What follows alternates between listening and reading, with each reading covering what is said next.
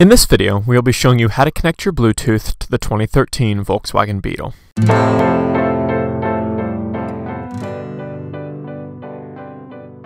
Start by powering up your entertainment console and making sure that the Bluetooth is activated on your smartphone. Next, open up the Bluetooth menu on your device and select Volkswagen Phone.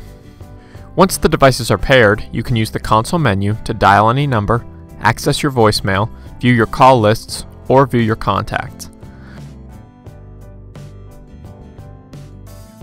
Additionally, you can play your favorite music using the Bluetooth audio menu.